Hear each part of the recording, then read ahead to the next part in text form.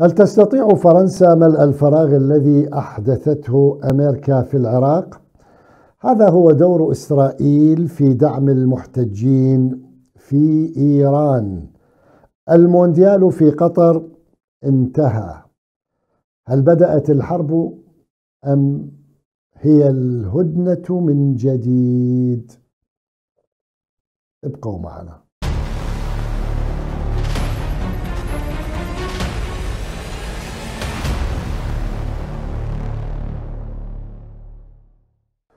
بسم الله الرحمن الرحيم السلام عليكم ورحمة الله وبركاته أحبائي استضافت المملكة الأردنية الهاشمية مؤتمرا باسم مؤتمر بغداد أو النسخة الثانية لمؤتمر بغداد الذي عقد النسخة الأولى منه في العام الماضي عندما كان السيد مصطفى الكاظمي رئيس وزراء أو رئيس حكومة تصريف الأعمال في العراق. وهذا المؤتمر يعني لخلفياته كان يفترض أن يكون مؤتمر جوار يعني مؤتمر دول دول جوار العراق. كان هكذا يفترض. بعدين نشوف بقدرة قادر حوله مصطفى الكاظمي إلى مؤتمر بغداد ورعته فرنسا بشكل واضح وصريح و لم تدعى إلى هذا المؤتمر سوريا التي هي من الدول المهمة جدا من دول الجوار العراقي. وبين وبينها قضايا كثيرة مشتركة. يعني فيما يتعلق بالتنظيم الإرهابي داعش أصلا هو داعش تنظيم هذا التنظيم الإرهابي. دولة داعش التي سميت الدولة الإسلامية في الشام والعراق. يعني هم أساسا مع يعني إعادة إحياء معاهدة سايكس بيكو بطريقة أخرى مختلفة. آه، الانطلاق من العراق وسوريا من بلاد الشام وأيضا للتمدد في دول المنطقة الأخرى. لكن طبعا الجمهورية الإسلامية ساعدت العراق الحشد الشعبي قبل ذلك الفتوى المباركة للإمام السيد علي السيستاني وباقي القوات الأمنية ومعظم فصائل آه، المقاومة كلها تقريبا وكل أولئك الذين آه، واجهوا هذا التنظيم الإرهابي شاركوا في دحض هذه المؤامرة. الآن يعني بعدين منذ 2017 بعد الانتصار على الدولة دولة الخلافة أو دولة الخرافة. لأن داعش لا تزال موجودة ولاحظتم في الآونة الأخيرة أخذت آه، توسع من عملياتها الإرهابية كتنظيم كفكر كخلايا نائمة. كحاضنة أيضا موجودة موجود هذا التنظيم الإرهابي. لكن في نفس الوقت حاولت الدول التي رعت هذا التنظيم إلى أن تجهض حقيقة الانتصار الذي تحقق في العام 2017 ولاحظت يعني منذ 2017 إلى يومك هذا هنالك حملات شعواء تشن على الحشد الشعبي على المرجعية طبعا. هاي الثلاثية المرجعية الحشد إيران. لأن هذه الثلاثية كان لها دور كبير في إجهاض هذا المشروع. الولايات المتحدة الأمريكية شعرت بأنه خصوصا بعد أن قامت بعملها الإجرامي آه، باغتيال قادة النصر الشهيدين قاسم سليماني وأبو مهدي المهندس ورفاقهما طبعا.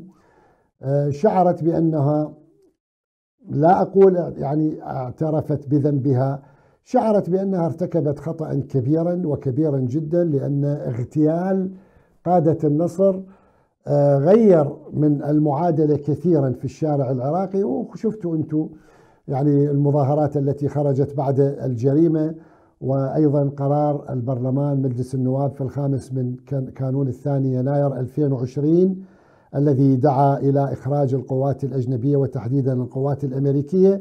فأرادوا يغيرون قليلا من آه، تواجدهم الأمريكان بشكل خاص أو يقومون بشيء من المناورة والتكتيك للزعم بأنهم انسحبوا من منطقة الشرق الأوسط ومن العراق. نعم هم الولايات المتحدة الأمريكية قللت من وجودها في المنطقة بشكل عام الوجود العسكري. لاحظت ذلك في قضية لاحظتم ذلك في قضية أفغانستان. انسحبت فجأة الولايات المتحدة الأمريكية وسلمت أفغانستان إلى طالبان.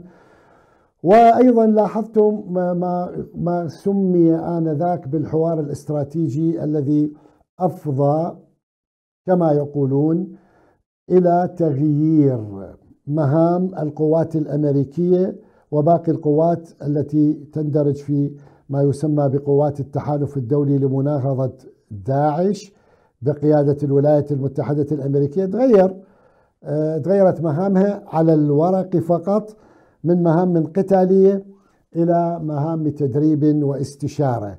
في الجانب السياسي أيضا يعني بعد فشل آه، آنذاك ممثل الرئيس الأمريكي ممثل قائد قوات التحالف أو هكذا الدولي آه، الأمريكي في العراق بريت ماكغورك فشل في فرض أجندة سياسية فيما يتعلق بتشكيل الحكومة بعد انتخابات 2018 انكفأ الدور الأمريكي سياسيا وتم تكليف أو يعني هذا التنسيق الذي جرى وتعرفونه جيدا مع الولا مع بين الولايات المتحدة الأمريكية وأيضا آه، مع بين البريطانيين. هؤلاء أيضا فشلوا في فرض ما سمي بحكومة الأغلبية الوطنية التي كانت هي حكومة إقصاء.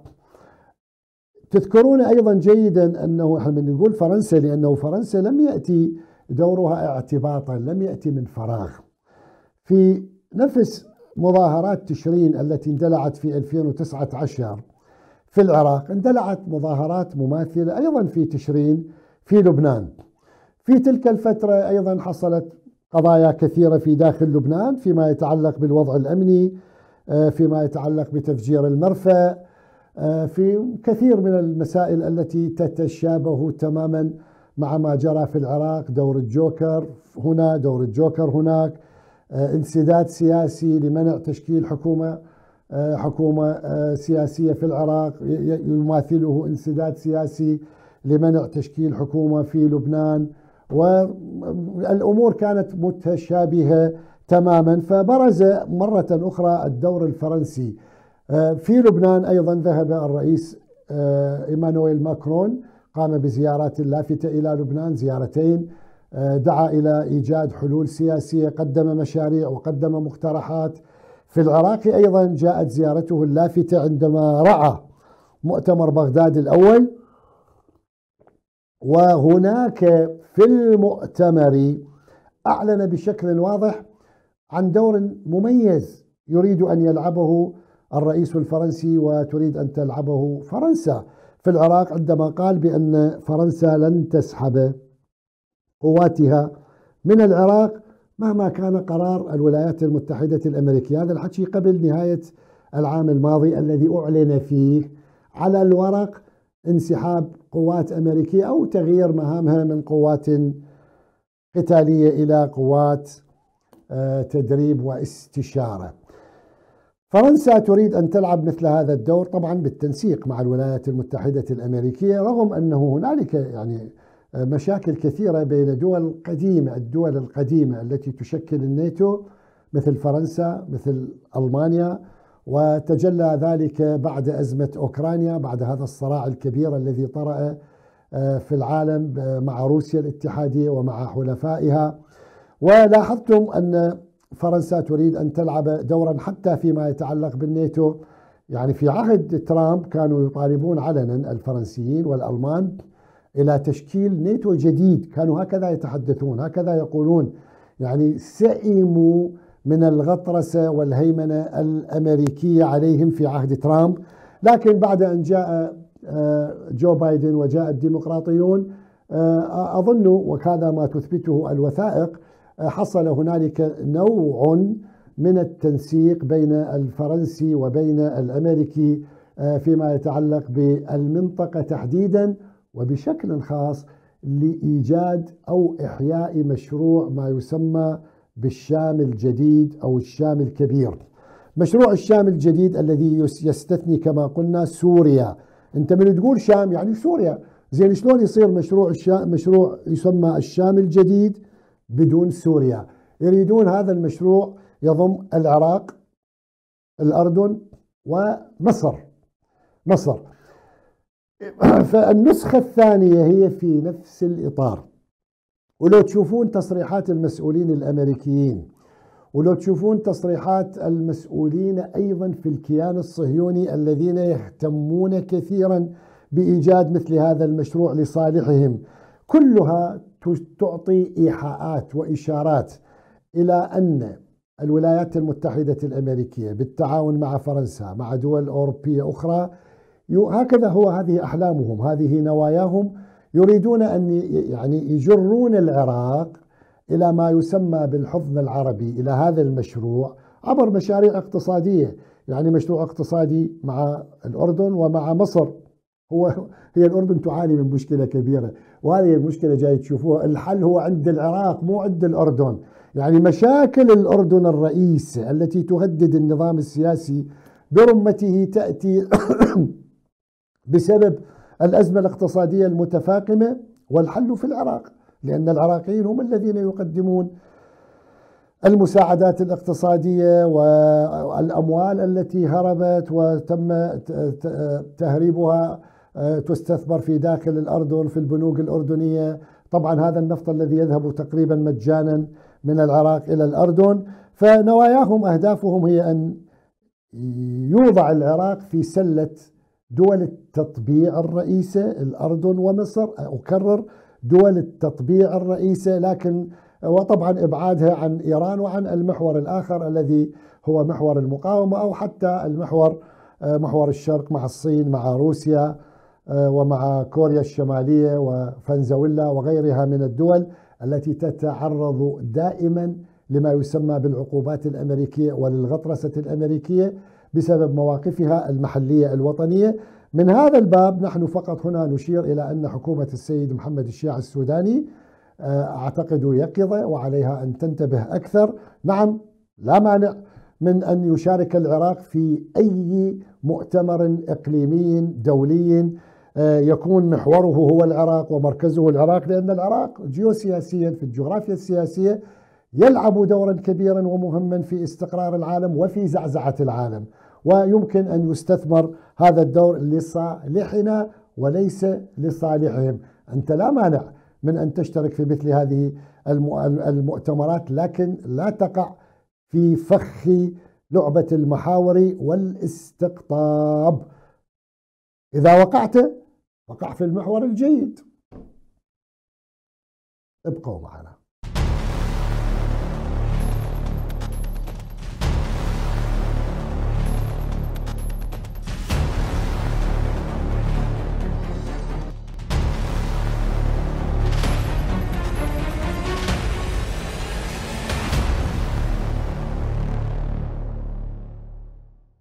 هذا هو دور إسرائيل في دعم المحتجين في إيران. إخواني هذا طبعا عنوان هو العنوان هكذا دور إسرائيل في دعم المحتجين الإيرانيين. هذا عنوان لمجلة نيوزويك الأمريكية. مقال استقصائي تحقيقي كتبه اثنان من المتخصصين في مجال الأمن. أحدهما جاكوب ناجل وهذا يعني من المسؤولين الأمنيين في الكيان الصهيوني. هو عميد احتياط بروفيسور جاكوب ناجل زميل أقدم في مؤسسة الدفاع عن الديمقراطيات. يعني سخريه القدر أن الكيان الصهيوني الذي قام على الاغتصاب هو كذبة. هذا الكيان كذبة لأنه كيان صهيوني وجد في منطقة غريبة عنا واحتل واغتصب أرض فلسطين. هذا يتحدث عن عند مؤسسة هي أمنية تسمى مؤسسة الدفاع عن الديمقراطيات. وهو أيضا أستاذ زائر في كلية التخنيون للفضاء. عمل سابقا مستشارا للأمن القومي لرئيس الوزراء بنيامين نتنياهو الصهيوني. ورئيسا لمجلس الأمن القومي. هاي الخلفية تكفي لكي تعطيك انطباعا عن أهمية هذا الكلام الذي يجري. وهذا أيضا هذا الكلام يؤكد الكلام الذي قاله ويقوله مع زميله اللي هو مارك دوبويتز هو الرئيس التنفيذي لشركة أف دي دي شركة أمنية خبير في برامج إيران النووي. خبير يعني هذا شغلته؟ إيران. طيب عندما واحد متخصص أو مهتم بالشأن في شأن البرنامج النووي الإيراني والأمن القومي الإيراني وهذا مهتم بالشأن الأمن القومي الإسرائيلي تجوزا نذكر هذا الاسم. آه، اذا كلامهم يجب أن يؤخذ على محمل الجد. من تقول إيران أن الموساد الإسرائيلي الصهيوني ودول غربية أخرى متورطة وضالعة في هذه الاضطرابات التي تجري وعندنا وثائق ويتحدثون عن هذه الوثائق. ويراووك بأدلة قطعية عن وجود مؤامرة لتقسيم إيران إثارة المشاعر القومية داخل الجمهورية الإسلامية تهديم الدين استهداف الدين من خلال استهداف الحجاب واستهداف القيم بشكل عام. حتى تستهدف إيران من الداخل. يقولون نظرية المؤامرة. وإيران وهذا مولع بنظرية المؤامرة. بس هذا الكلام يأتي عن هؤلاء الذين هم ضالعون في هذه المؤامرة. وهذا يجي هو بيقول يقول إحنا يجب أن نقدم الدعم نحن متورطون وهذا يجب أن يحصل يجب أن نقدم الدعم لمن يسميهم بالمحتجين.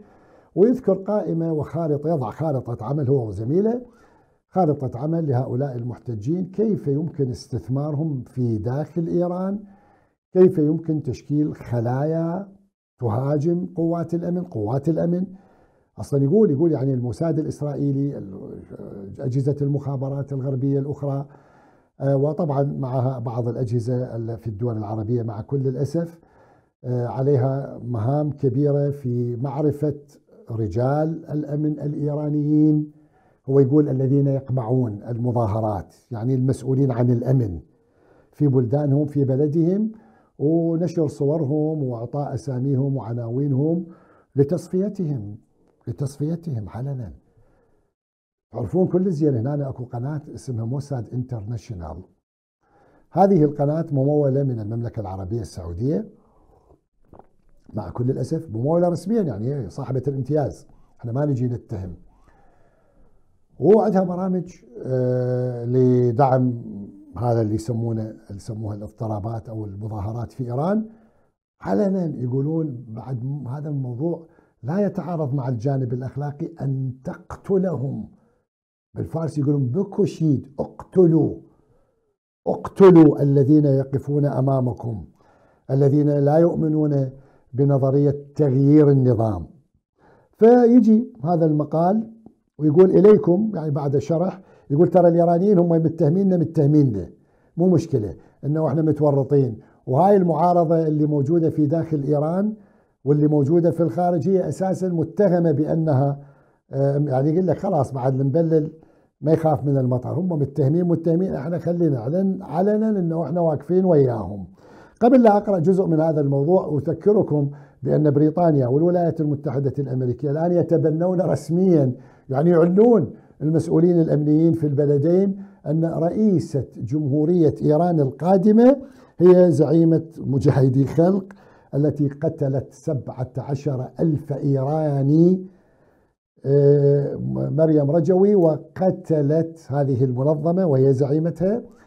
آلاف العراقيين من كرد ومن شيعة بشكل خاص وشاركوا عندما كانت هذه المنظمة في العراق مع النظام السابق في كل جرائمه علنا.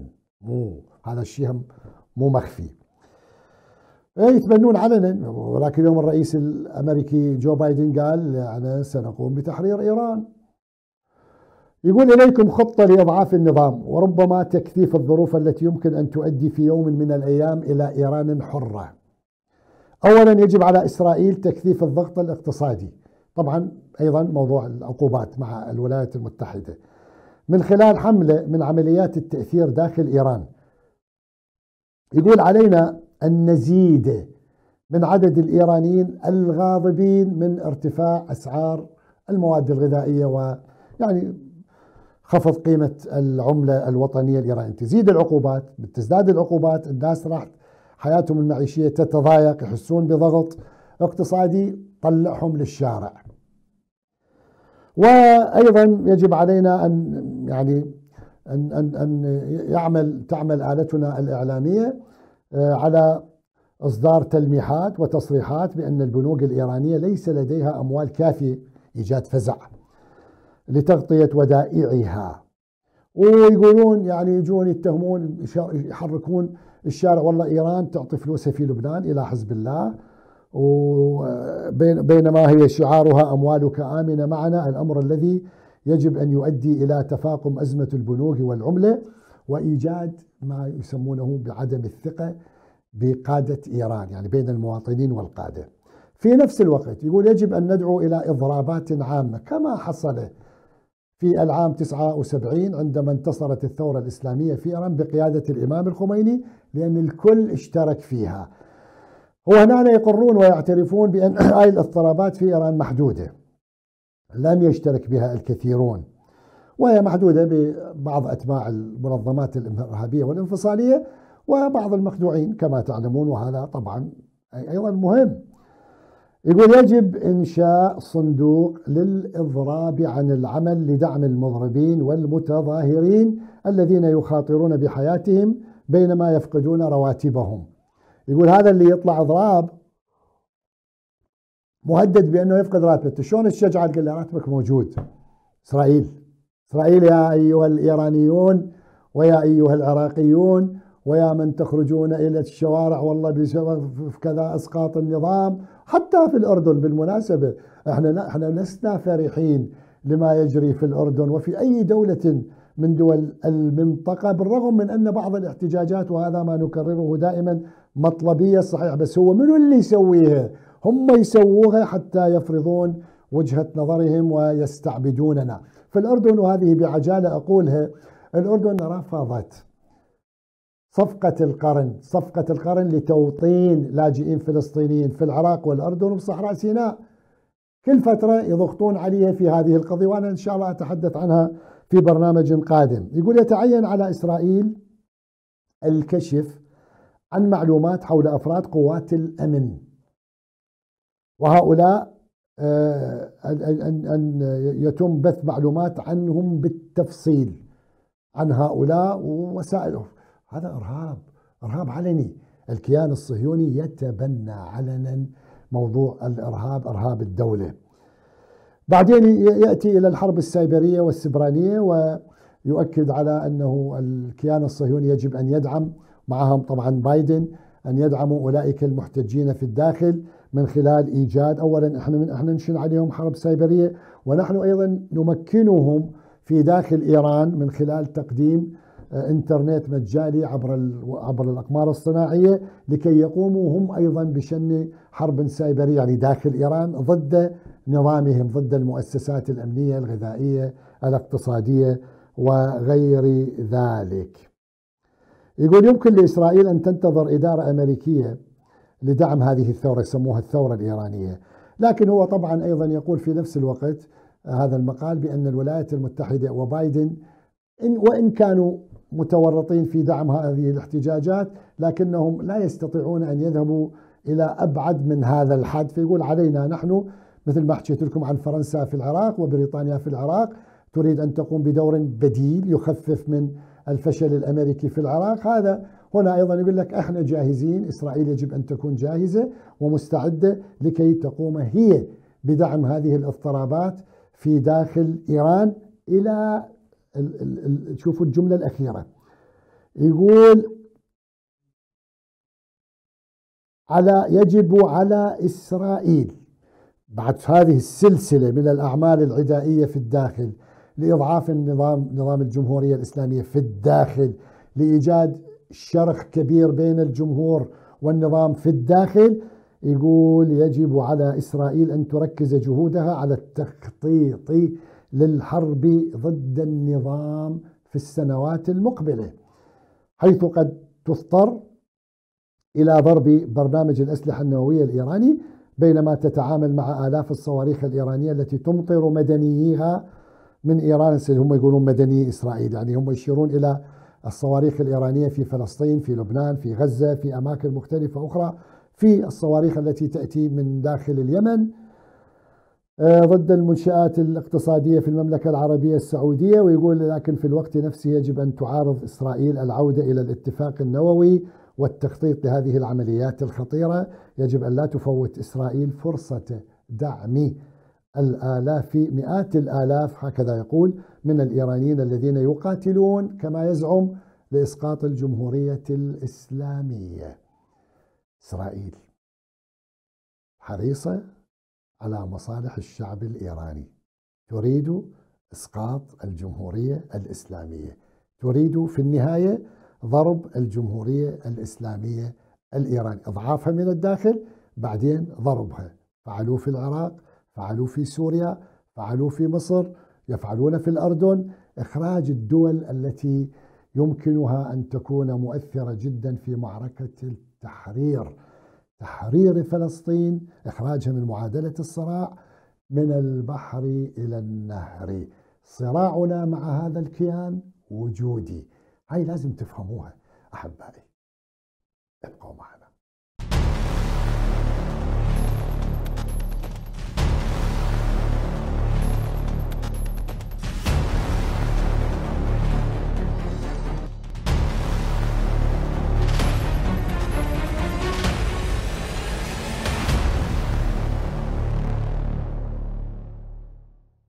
مونديال قطر انتهى فهل بدأت الحرب أم هي الهدنة من جديد؟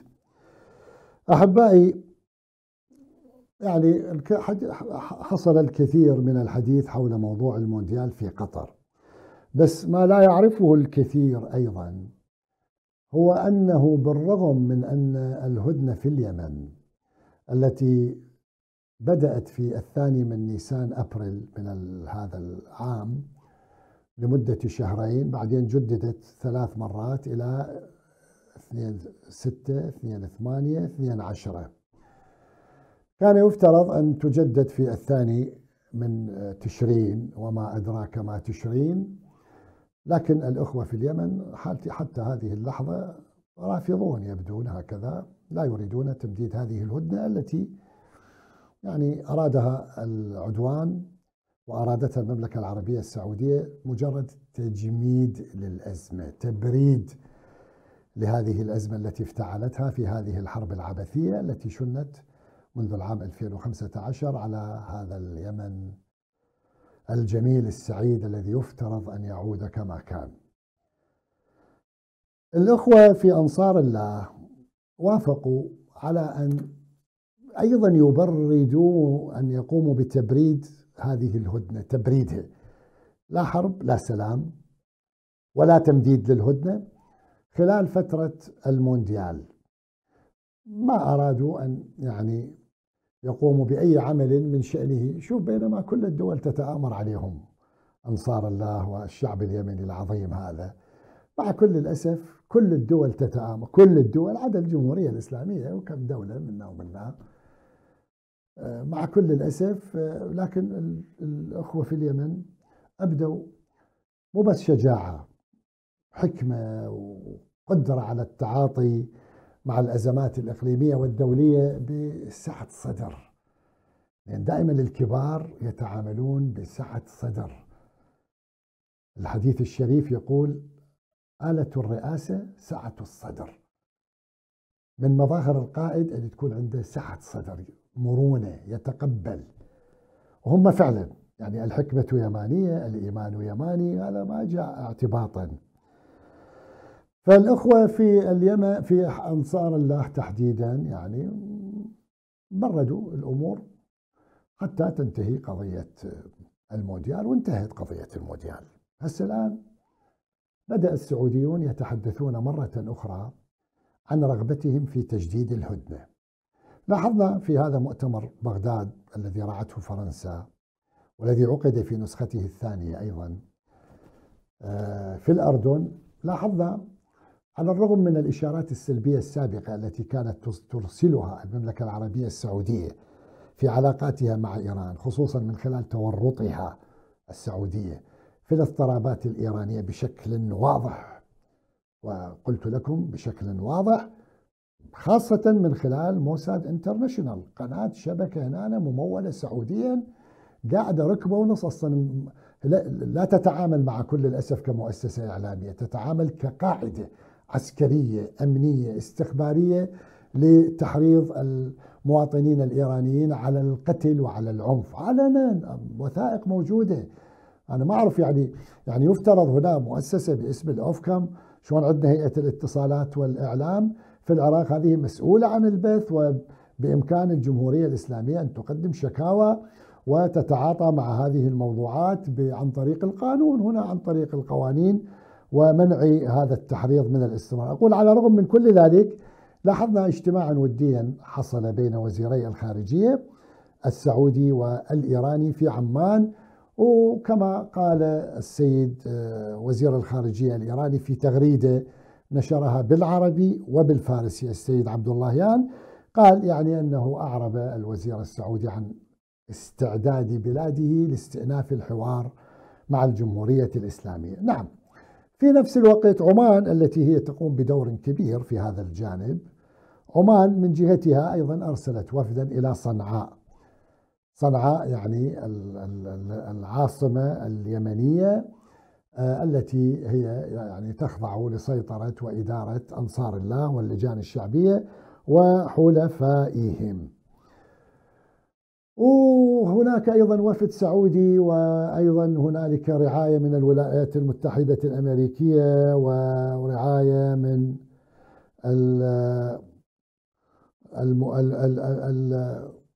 المبعوث الأممي للأمم المتحدة. الكل يحاول أن يعيد هذه الهدنة من جديد ويمددها لكي يعني حتى يستفيد من من نتائجها. بس لاحظنا أن يعني زيارة الوفد العماني والأطراف الدولية والإقليمية إلى صنعاء حتى هذه اللحظة لم تسفر عن نتائج كبيرة.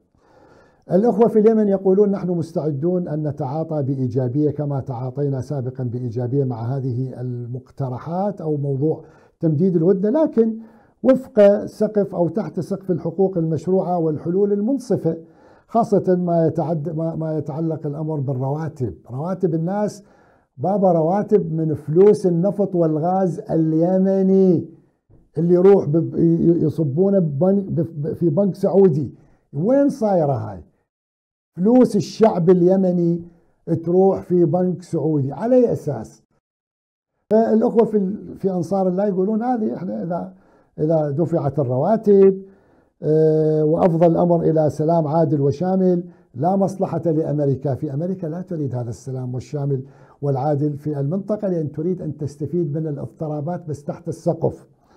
وهذا طبعا ما شدد عليه السيد عبد الملك الحوثي كثيرا في خطاباته الأخيرة. فنحن الآن أمام مفترق طرق. لا بد من أن تظهر الوفود التي تتوسط بالنيابة عن السعودية أو ترعى الجانب السعودي. وأيضا لا بد أن هو الجانب السعودي مباشرة يعني بدون وساطة أن يعرب أو, أو تكون لديه الإرادة القوية ليظهر حسن نيته في حل مثل هذه المسائل.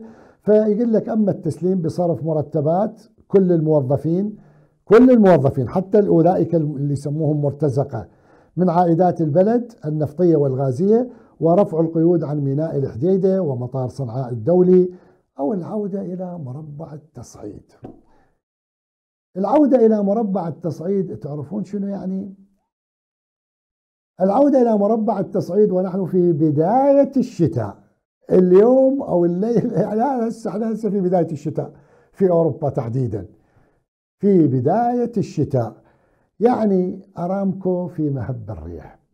يعني الكثير من المنشآت النفطية والاقتصادية في المملكة العربية السعودية في مهب الريح. يعني الممر المائي للنفط و آه، إلى دول أوروبا الغربية والغاز وكله يعني في مهب الريح. يعني إحنا في العراق العلاقة مع إيران أزمات المنطقة الأخرى في سوريا واكو محاولات أيضا لتبريد الأزمة مع تركيا في سوريا. آه، الرئيس التركي يريد أن يلتقي بالرئيس السوري، الرئيس السوري حاليا رفض في الوقت الحاضر أن يلتقيه لأنه ذلك عنده مشكلة في الانتخابات المقبلة المقررة في في حزيران المقبل انتخابات برلمانية وانتخابات رئاسية. كل هذه الأزمات البحر الأحمر يعني لن يكون آمنا باب المندب يعني إحنا راح ندخل قضية كبيرة. دائما أكرر وأقول اليمن هو ضابط الإيقاع مو بال remote control يشتغل لا. هي الأزمات مترابطة بس أكو أزمة تؤثر على الكل مرة واحدة هي اليمن. وليش صارت الحكومة العراقية؟ ليش هذا اللي كنا نقول عليه انسداد سياسي في العراق خلال الفترة الماضية. منذ أكتوبر 2021 إلى آه، تشكيل حكومة السيد محمد الشياع السوداني إلى ما قبلها بكم يوم. الكل كان يتحدث عن عن عن ممكن تكون حرب داخلية اقتتال داخلي. ليش؟ لأن أكو أزمة حقيقية كانت موجودة وكانت الولايات المتحدة الأمريكية وأذرعها فاعلة في تأجيج, تأجيج هذه الأزمة. بس لأنهم فشلوا في تمديد الهدنة في اليمن في الثاني. من أكتوبر تشرين الأول في اليمن اضطروا إلى القبول. ماكو شيء يجيب دقمة وشو رأسا. التحالف الثلاثي انفرط. الأخوة الأكراد في الحزب الديمقراطي الكردستاني قبلوا. بالمرشح اللي أراد الاتحاد الوطني للرئاسة ما يسمى بتحالف السيادة فجأة طلعوا ليش؟ هذا ما يجي في في ليلة وضحاها. هذا يأتي من قراءة الخارطة الموجودة في المنطقة ومن تأثير الأزمات بعضها على البعض الآخر. ودائما ضعوا في أذهانكم أحبائي. أن اليمن هو ضابط الإيقاع. إذا أرادها حربا شاملة فهي حرب شامل شاملة وإذا أرادها سلام شامل فهو سلام شامل لكن لكل مقام مقال. إذا وافقت السعودية ودخلت في حوار مع الإخوة في اليمن بشكل جدي وبدأت هسه على الأقل هسه إحنا نقول العافية بالتداريج. يعني أنتم أولا دفعوا الرواتب والمرتبات رفعوا الحصار عن ميناء وعن مطار صنعاء. شوي شوي. إذا تريدون سلام آمن فتفضلوا سلام آمن وسلام مستدام. أو كما ظهرت ال ال أو أكدت لنا الوقائع منذ مجيء الرئيس الأمريكي الحالي الذي كان في البداية في الانتخابات كان يقول يا إحنا لازم ننهي من قضية اليمن وهاي الحرب عبثية جو بايدن هذا نفسه. ولعب له لعبة أوقف مبيعات الأسلحة جمدها فترة وبعدين شال الحظر آه، للمملكة العربية السعودية.